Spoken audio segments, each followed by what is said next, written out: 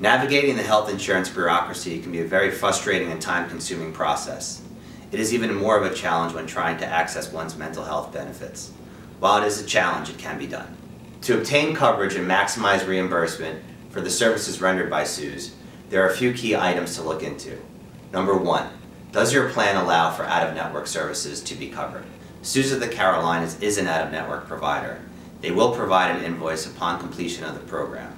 If your plan does allow for coverage for out-of-network providers, you should be reimbursed for their services. Number two, does your plan require pre-authorization? Most insurance plans do require mental health benefits to be pre-authorized. It is important that you check with your provider before submitting such a claim.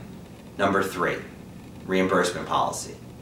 Most insurance plans either use a percentage of Medicare or reasonable and customary to determine the reimbursement pricing policy.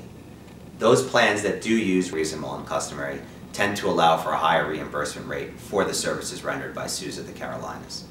And finally, group family and individual therapy rendered by SUWS of the Carolinas is rendered by licensed therapists. As such, your claim should be reimbursed to the fullest extent for those services rendered.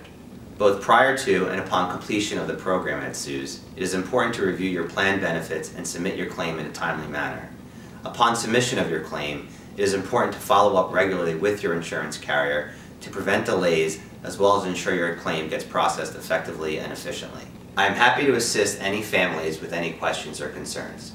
Please contact the Office of Admission at the SUWS of the Carolinas if you would like additional assistance. Thank you very much and best of luck.